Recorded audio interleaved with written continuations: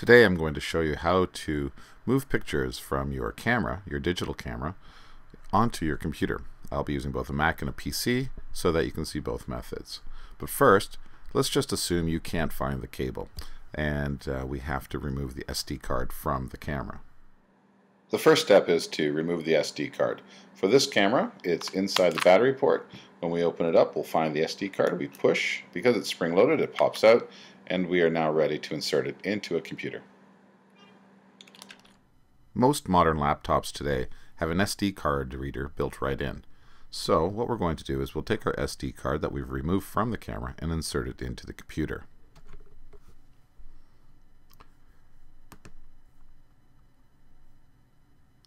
Once inserted, we wait, and the SD card shows itself on the desktop. Here it's labeled Canon DC. When I open this up, I'm going to see a series of folders on the inside that are finally going to lead me to my pictures. This is when you can copy these pictures uh, into your, your folder uh, where you keep your pictures. So what I like to do is open up the Finder. And once I have the Finder open, I will go to My Pictures and inside my pictures, I will create a new folder. That new folder, I can simply call it uh, down or imported pictures. And then I will make a folder on the inside of that with today's date. So with a new folder, I will check the date. The today's date is Sunday, October 13th.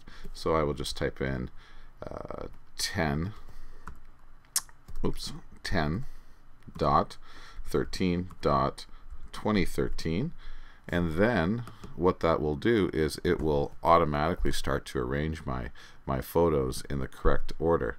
Uh, some people actually prefer to put the year first. That's entirely up to you. So once you've got that folder open you can open up the SD card find those pictures that you've just taken highlight and copy into that folder and those pictures will be copied over. That's how to copy them into a Macintosh. On the PC, the process is a little bit different. When you insert your SD card, a dialog box will appear. It'll ask if you'd like to import your pictures and videos. If we select Import Pictures and Videos using Windows, a dialog box opens up. We can add additional tags, or we can simply hit the Import button, and it will import our pictures. And there they are. If you had checked the box, it will also erase them from the SD card for you. At this point, it will create a new folder inside your Documents folder where you will find all your pictures.